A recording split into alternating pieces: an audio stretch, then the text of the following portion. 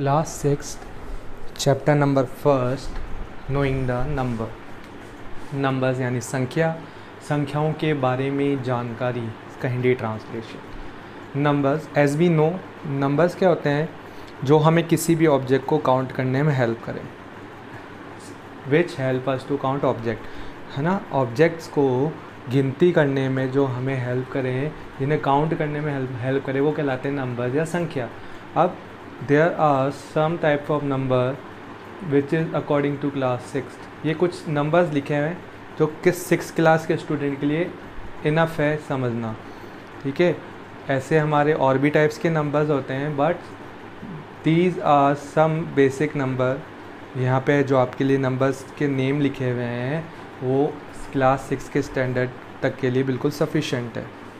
Okay so first types of number is natural number natural को हिंदी में बोलते हैं ताकत संख्या। हिंदी में बोलते ना? तो positive numbers up to infinity infinity means undefined जिसकी कोई डेफिनेशन नहीं हो। ये कितने डिजिट्स का नंबर है? ये हो सकता है मे बी थ्री हो जाए, ये हो जाए टू डिजिट्स का कोई नंबर हो, या थ्री डिजिट का कोई नंबर हो, या फोर एंड सो ऑन है ना? ये इसके बारे में हमें कोई इन्फॉर्मेशन नहीं हो। पॉजिटिव नंबर्स में ही आता है। होगा तो ये भी कोई पॉजिटिव नंबर ही। बट कितना बड़ा नंबर है, ये करोड़ है, या क्या उससे भी बड़ा है लैख में है कितना है है ना?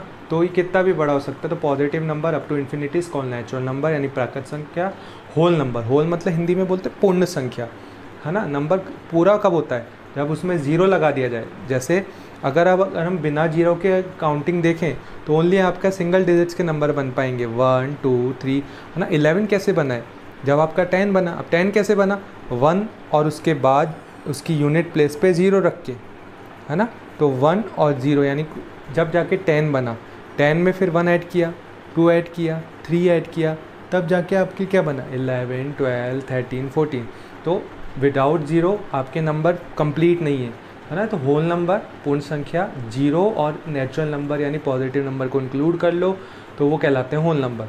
अब इंटीजर्स की बात करें, अब ज़ीरो और पॉजिटिव नंबर के साथ नेगेटिव नंबर भी आ गए।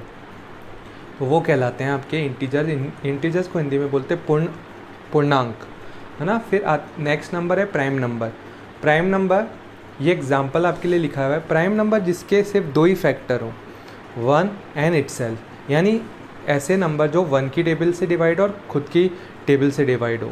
इजी वे में अगर हम इसको बोले तो। वो कहलाते हैं हमारे प्राइम अभाज्य संख्या।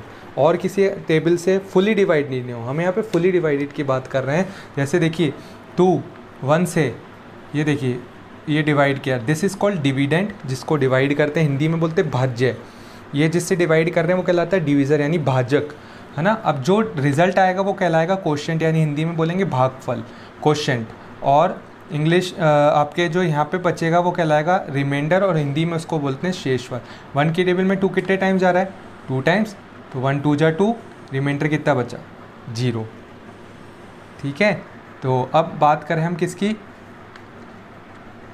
नेक्स्ट वाले एग्ज़ाम्पल की। अब टू को टू से डिवाइड कर रहे हैं। कितने टाइम जाएगा? टू वन जा टू कोई भी नंबर अपनी टेबल में वन टाइम्स डिवाइड होता है रिमाइंडर कितना बच्चा ज़ीरो तो ये फुली डिवाइडेड है, देखिए, पूरा पूरा नंबर आ रहा है ना, यहाँ वन आया, इससे पहले वाले, इस वाले एग्ज़ाम्पल में टू आया था तो पूरे पूरा जाए पॉइंट्स में नहीं जाए, यानी पॉइंट्स यानी डेसिमल में डिवाइड नहीं होना चाहिए, ना ही वो इस तरह की फॉर्म में डिवाइड होना चाहिए, यानी फ्रैक्शन की फॉर्म में भी नहीं रहना चाहिए।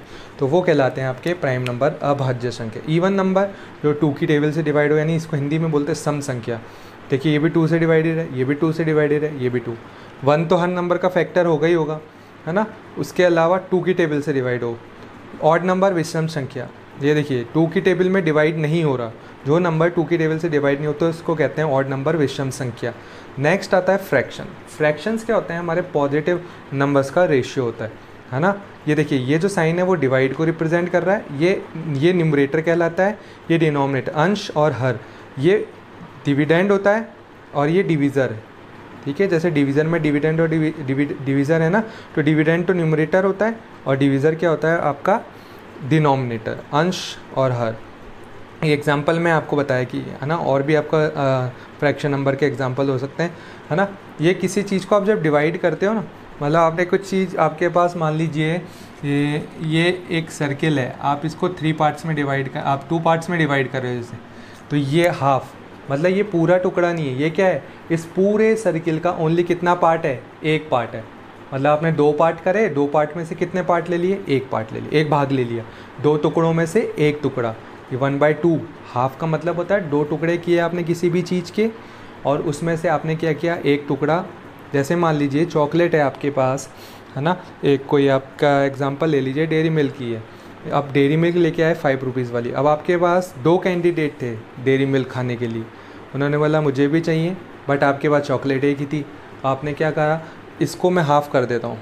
मतलब इसका क्या करता हूँ फ्रैक्शन इसका टुकड़ा कर देता हूँ। फ्रैक्शन मतलब टुकड़ा। हाफ़ कर दिया। आपने बोला हाफ़ इसलिए कर रहा हूँ क्योंकि सिर्फ़ दो कैंडिडेट हैं, दो जनों में ही बांटनी है। तो दो टुकड़े करोगे एक टुकड़ा एक को दे दोगे, एक टुकड़ा एक को तो उसने, आपने तो कुल मिला के पूरी चॉकलेट तो नहीं दी ना एक बंदे को, है ना? आपने क्या किया?